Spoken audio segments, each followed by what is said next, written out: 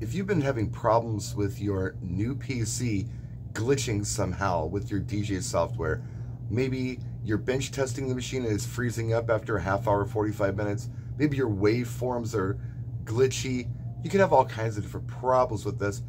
There's a lot of things you can try to do to fix the problem, but I found one thing in particular that works. It worked for me anyway, and it's worked for some of my friends that I wanted to share with you today. Before we get into this fix, I just need to let you know that I am not a PC, computer, tech of any kind. Sure says technician. I'm not that guy. I'm just cosplaying right now. So I'm going to share with you what worked for me, and it may work for you too. This is a problem that Alienware machines are having. I've got an M16. A friend of mine has an M18. He had a very similar issue. I turned him onto this fix, and he has no more problems. When you set up your new PC for DJing, sometimes you have to change the power plan of your machine to work well with your DJ software. Not that these software programs particularly use a lot of power, but it's good to go with the performance option when you're selecting a power plan. When you go to do that, sometimes you don't get the performance option. You only get this balanced option. And what the balanced option does apparently is it switches between low power and high power very quickly to save energy. And this might be fine if you're playing Call of Duty at the coffee shop. But if you're DJing in front of an audience, it may cause problems with your programs and it may be just a very bad thing for you as a DJ. So, what do you do? You have to go into the BIOS and unlock the performance power plan.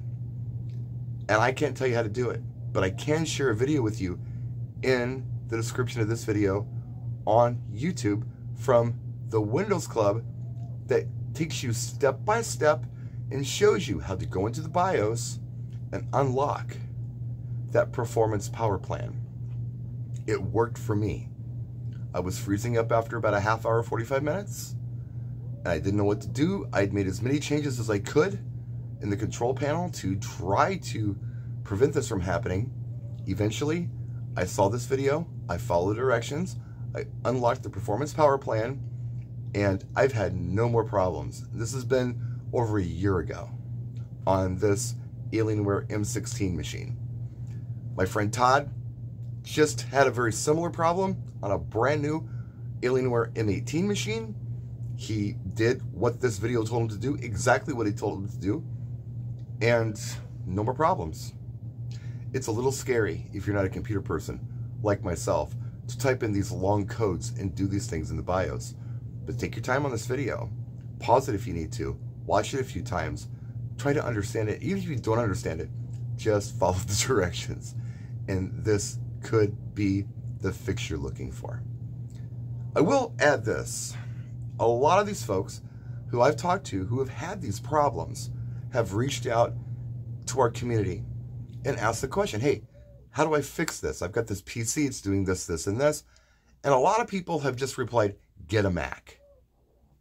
I know that a lot of you folks that are running Macs are very proud of your purchases. You've made a smart purchase. It's a great machine. But it's starting to sound a little smug and elitist when you just say, get a Mac. It's not helpful, especially for a person who's stressed out after they've spent several thousand dollars on a machine and tried to make an intelligent purchase, for someone just to almost ridicule them for not making the same choice they did with a Mac. So it's the holiday season. Don't be a Mac hole. You may not mean to be, but it's coming off like that when you just say, get a Mac. I don't use a Mac for several reasons. And saying get a Mac when I have a problem isn't helpful. but a video like this that takes me step by step to show me how to fix my problem is. So be a part of the solution, not a part of the stress. It's the holidays. Be kind. That's it. Quick video for you. I hope it helps somebody. If it did, let me know in the comment section. If this solved your problem, let me know. Thanks to the Windows Club, and thank you for watching. Practice and enjoy.